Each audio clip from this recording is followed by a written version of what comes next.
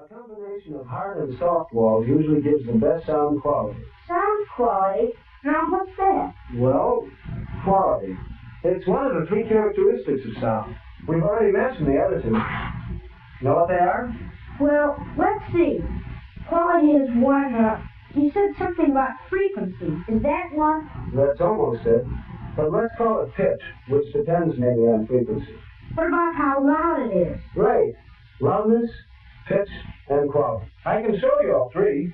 Show me a sound? Sure. By turning on the oscilloscope. It draws a picture of sound. Uh, be careful, Jimmy. It colludes my radio clock. Now watch. This is a picture of my voice as I talk, Jimmy. Can I see my voice? Hey, there it is. Now, about these characteristics of sound, we'll start with loudness. Shallow waves for a soft note, and high waves for a loud note. Now, what do you suppose shows the pitch?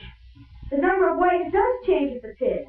We call the number of waves each second frequency, and the length of the wave changes too.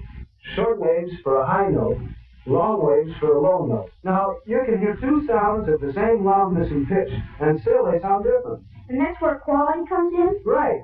Try singing the five vowels on the same note. Yes, the quality of the sound determines the shape of the wave.